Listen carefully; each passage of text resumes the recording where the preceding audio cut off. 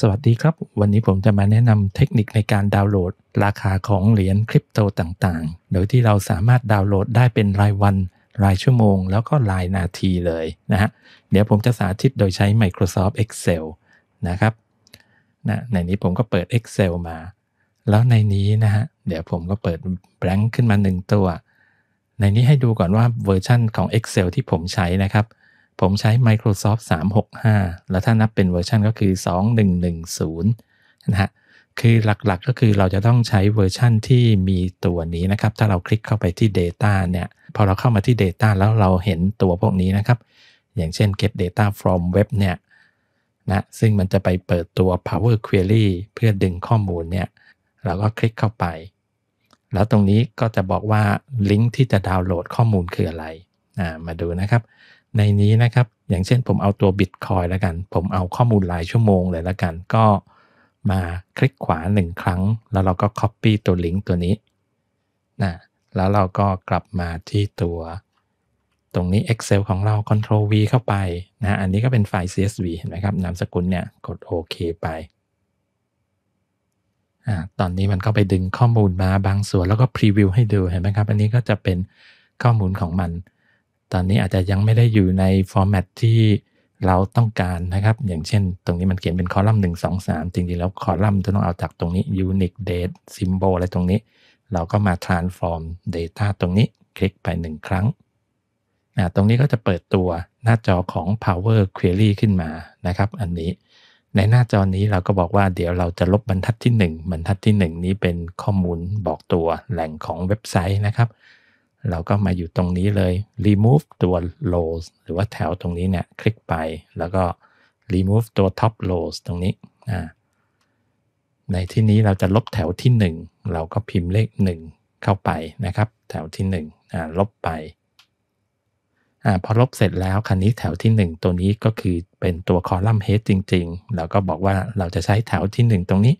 เป็น header แทนที่เป็นคอลัมน์1 2 3 แบบนี้เราคลิกตรงนี้ ครั้นี้เราก็จะได้ตัวนี้มาเป็น header ละพอเราได้แบบนี้อันนี้มันก็พรีวิวให้ดู 1,000 แถว เราบอกว่าอันนี้คือข้อมูลที่เราต้องการนะครับ เราก็บอกว่าตรงนี้คลิก load to นะฮะ load to ตรงนี้จะทำให้เราสามารถเลือกตำแหน่งที่เราต้องการได้นะครับ อย่างเช่นผมเอา existing จะ A1 หรือสมมุติผมเอา A4 แล้วกัน ข้างบนเนี้ยเอาไว้ใส่รายละเอียด information ต่างๆ สมมตินะฮะ ผมก็คลิกตรงนี้โอเค อันนี้เราก็จะได้ข้อมูลมาเห็นไหมครับ นี่เป็นข้อมูล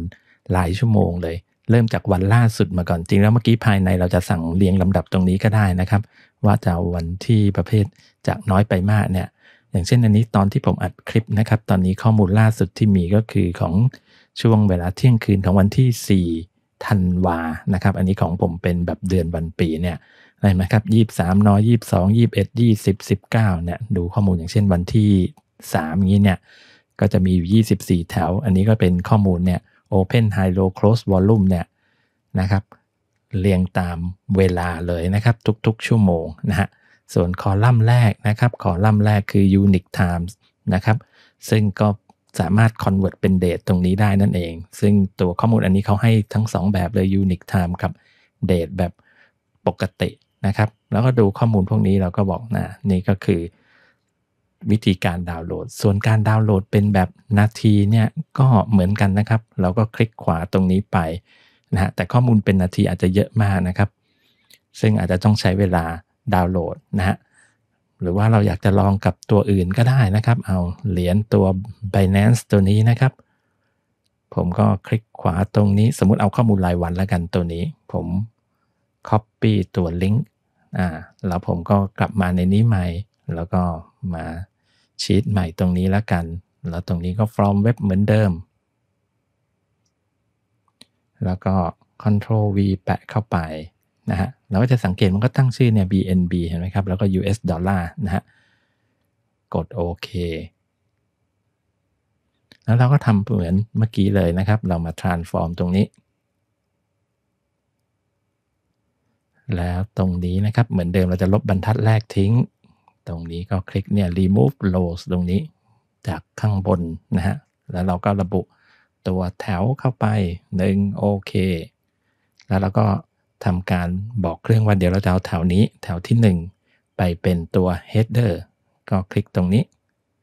อ่า เราก็จะได้ข้อมูลแบบนี้นะครับ อย่างเช่นอันนี้เดี๋ยวผมจงใจจะเรียงวันที่แล้วกันนะครับ จาก